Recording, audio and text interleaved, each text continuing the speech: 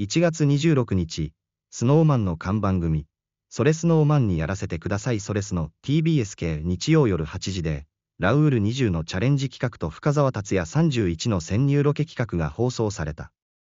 どちらも視聴者におおむね好評だったが、深沢の扱いに不満の声が上がっている。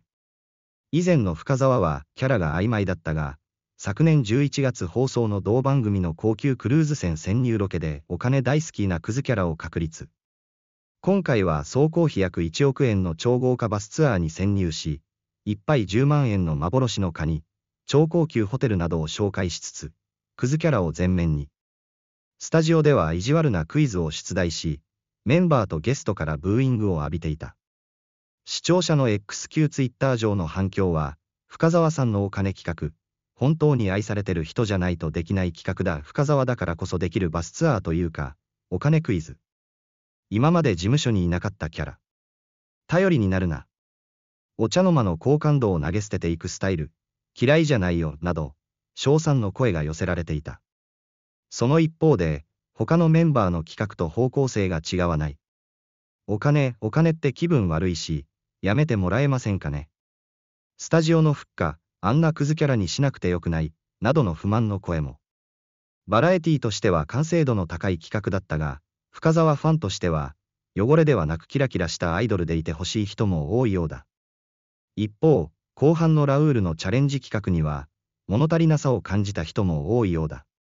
アルコピース平子ゆき45、タイムマシーン3号関太志44と一緒にガチの大食い大会に参戦したが、数々の大会優勝経験を持つフードファイターや大食い YouTuber など、名だたる実力者たちも多数参加していたため、あっさり予選落ちしてしまったのだ。ラウールは失敗しても喜ばれ点々点々点々。物足りない内容に終わったのは、敗戦後、平子が突っ込んでいたように、そもそも大会のレベルが高かったという、スタッフのリサーチ不足が原因。さらに、X 上でモデル体型を維持するためにめっちゃ節制して、ほぼ毎日自炊。ジムに通って運動して、点々点々点々努力してるラウールが頑張った大食い大会、泣けるという声があったように、もともと、ストイックな食生活を送っているラウールには、無茶な企画だった。お茶の間人気の高いラウールを使いたいという、制作側の意向もあったのだろうが点々点々点々。しかし、そんなラウールの不完全燃焼な企画にも、X では、もぐもぐラウちゃん、頑張ったよなど、可愛ければいいとばかりに、賛辞の声が溢れている。ラウールは失敗しても喜ばれるのに、深沢はクズキャラに徹しての全力投球。そんな企画内容の落差が、深沢ファンの不満の根底にありそうだ。ゴールデン枠でのバラエティとして、それスノーの地位を確立させるなら、深沢のようなプロの仕事が必要だ。